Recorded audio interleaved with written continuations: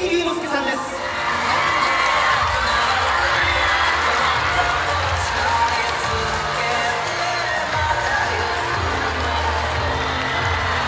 続きまして有村架純さんです。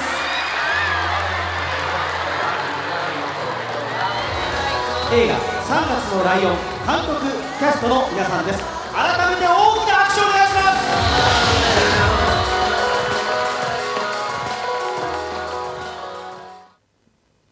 座をねずっとしてるわけですよ。でしかも監督がその長回しをするので僕らまあその、まあ、ゆっくりお芝居をさせていただいてるんですけども足がしびれてしびれていっつもね倉さん。あそうね。本番終わってカットってかかった瞬間いてててててってなってましたもんねうんうんそうね。あれ？あれ？いやいやなってましたよ絶対。そうそうそう。いやでもお俺対局のあと2週間はた立ち上がられへんかったもん。本当に足腰が痛くなって。そうですよね。さ棋士の方ってすごいよね。いや僕はもうあのベテランなんでね。あの将棋盤の前は掘りこたつにしてもらってましたから。いやいやいや。腰掛けた状態でこう打ってましたからね。ちゃんと座ってたじゃないですか。それええなどうですか？なんか楽しかった思い出とかエピソードとかありますか？なんか。えっとほとんどあの神くんと同じシーンが多くて枕の下になんか忍ばせてんなと思って。おなんですかね。枕の下に。枕の下に。なんかあると。なんかあると思ってバッて見たらうん。チョコレートがおチョコレート。隠されてて。おお「えこれ何?」って言ったら「食べていいよ」って「食べていいよ」って。俺ですね。はいすいません。すいません。忍ばさせていただきました。ま話題になってたじゃないですか。その2回誰がやるのか誰なんだっていう、えーそうなんです。はい。俺なんです。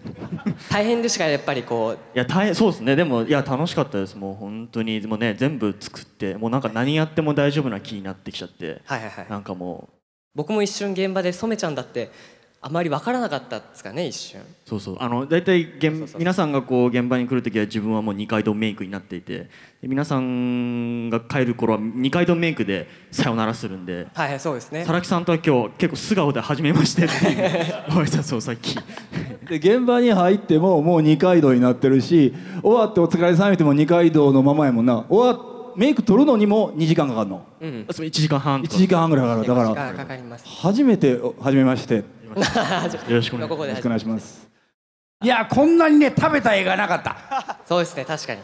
おせち料理、えーみ3月のひな祭りすき焼き大会カレー大会って そうそうその間ねだい大体6回ぐらい食べんだ。